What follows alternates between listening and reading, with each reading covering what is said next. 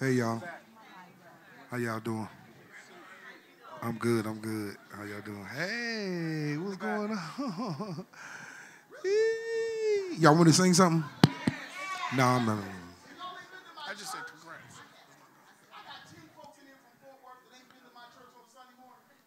Y'all ain't been to his church? Sneak away. Next Sunday. Oh! It's the, listen, Freddie's my friend. He's my friend.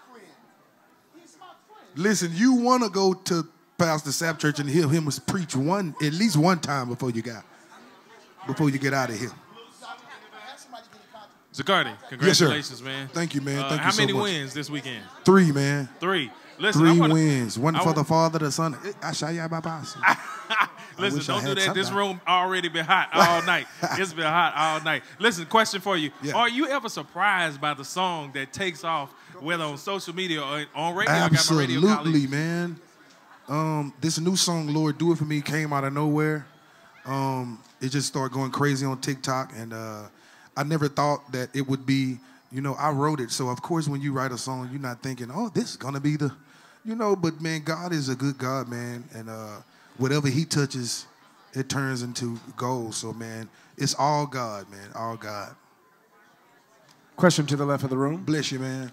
Zacardi, what's going on? Kyle Jackson, Praise FM. Come on, man. Come on now. Yes, um, sir. Zacardi, first of all, congratulations on Thank the you. awards. Thank you. Um, I just wanted you to talk to the young brothers and even just the younger artists coming up.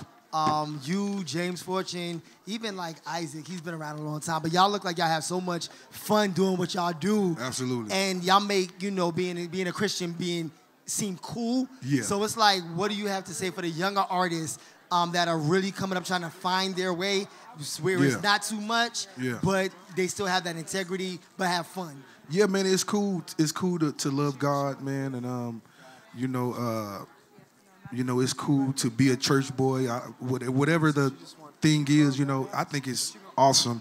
Um, I read my Bible. I think that's, I think that's gangster. You know what I'm saying? So, you know, man, I, I just uh, God and His people. You know, we got to realize that, you know, that uh, you know, to reach somebody that may not understand God the way you understand Him. You know, sometimes you have to, you know, not, you know, uh, dress up in a suit, or you know, sometimes you might have to wear that T-shirt just to reach that young man. So, uh, yeah, man, it's cool to love God, man. God is the coolest. Stop playing with Him. The Bobby Parker Radio Show. Come on, man. Man, congratulations on your album. Thank you. What does it mean when you singing "Lord, Do It for Me"? Yes, what is what does that mean for you? Man, I was locked up, man, and I I, I I I didn't have a bond. This is a true story, and so Lord, do it for me was a song that I was. It's a true story. Lord, if you don't do it, it just won't be done. You know, and uh, so, you know, it's it's it's an experience. It's it's a true story, and uh, that's why it's so heartfelt and um, so moving, and everybody can relate because everybody need God to do something for them. Amen. Yeah. Question to the right, right here. Hey y'all. Hey, how Hey. you doing? Last two Congratulations to you once again. Um, I wanna just, you know, you talked about earlier how your mom put you out on stage at church. You were young and you were scared. What does that moment mean to you now? everything. My mom is here actually, and uh, it just means so much.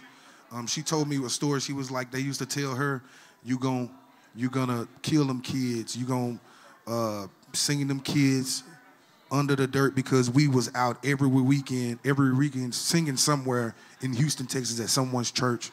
And uh, man, look at God. Look at God now. Look at us now. Last question. Last question right in front. Yes, uh, Lady Bell from Dallas, Fort Worth. I'd like to know. Come on, uh, Dallas. yes, what uh, church are you a member of, and uh, do the Sunday morning messages ever inspire you to write anything? Absolutely. Um, uh, I, I'm, a, I'm a member at Pastor Greg Patrick's church in Houston, Texas, called the Bridge Church. Amen. Uh, shout out to Pastor Greg Patrick. And uh, yeah, man, um, uh, that's that's kind of a secret. You giving away too much information because that's how we write some of our songs. We steal nuggets from preachers. They ain't gonna tell you the truth. We be stealing little nuggets and writing a song off of that. Yep. Good That's how I to- go. Thank you My for your dude, man, time, brother. Much love.